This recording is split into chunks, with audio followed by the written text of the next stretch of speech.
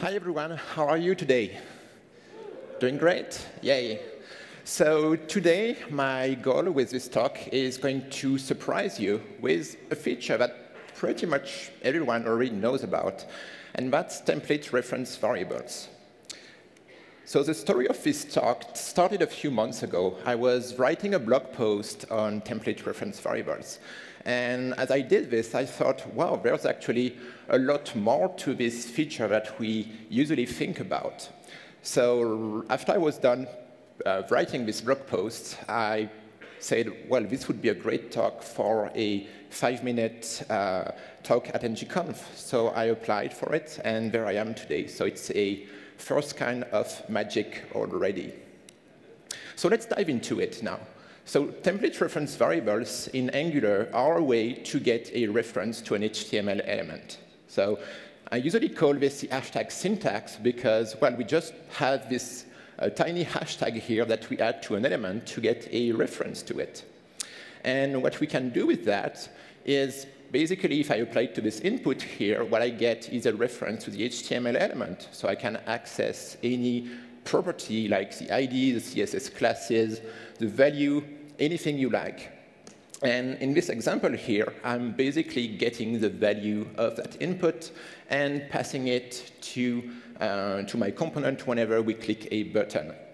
So because of this, I don't need any data binding in my component. I don't need any ng model. Everything just happens in the template. Now, when we apply this uh, hashtag syntax on a component, what we get, instead of a reference to the HTML element, is a reference to the actual component instance, which means I can access any property or method of that component outside of the template of, of, that component. So this could be helpful if, let's say, this component was a pop-up window. I could have a button that would just trigger the pop-up to show up uh, outside of that template. So that's a, a, a very good use case for it. And uh, surprisingly enough, this also works with private or protected uh, members in JIT mode, of course.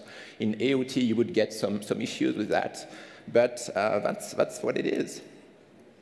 So does this also work with directives? The answer is, is yes. And when we use uh, this hashtag syntax with a directive, so we have to pass the name of the directive that we want to get a, a reference to. And in that case, that's a very common use case. You've probably seen that in the Angular documentation or used it yourself in the past. Uh, we, are getting a reference to the ngForm directive, so we can display the validation state of uh, the form. So is it valid, is it dirty, touched, untouched, and so forth. Now the thing with that syntax is that where is the ngForm directive actually applied to my form, right? Because there's no ngForm attribute up here on, on my form. So how does this work?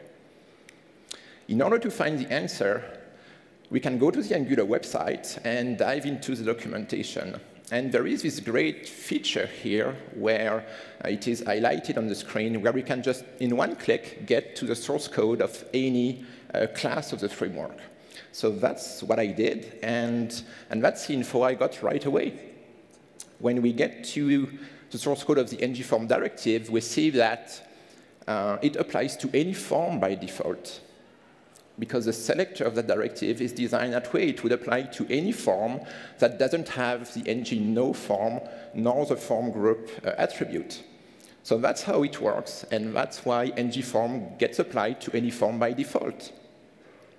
And the second interesting thing to see here is the export as a property of the decorator.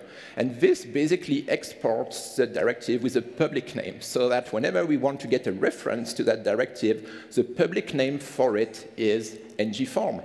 So now we know the entire story, and it was right there in the source code, right, right in front of us. So now the icing on the cake with um, with template reference variables is that we can also uh, retrieve them from our components or directive using the at viewchild decorator.